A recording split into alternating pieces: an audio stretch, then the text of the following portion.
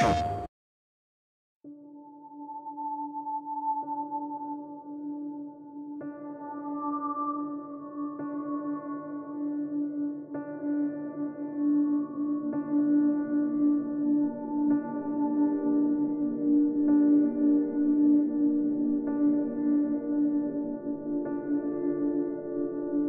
are a lot of stories people tell about the Finch family.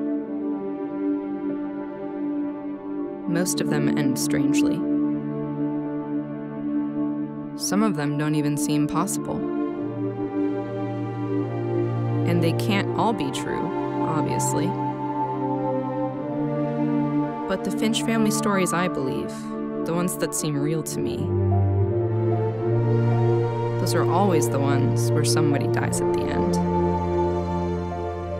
I'm not sure if the story I'm about to tell you is true or not.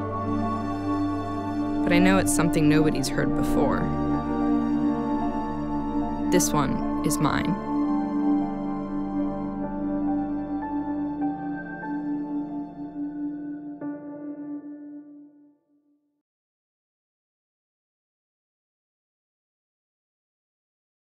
PlayStation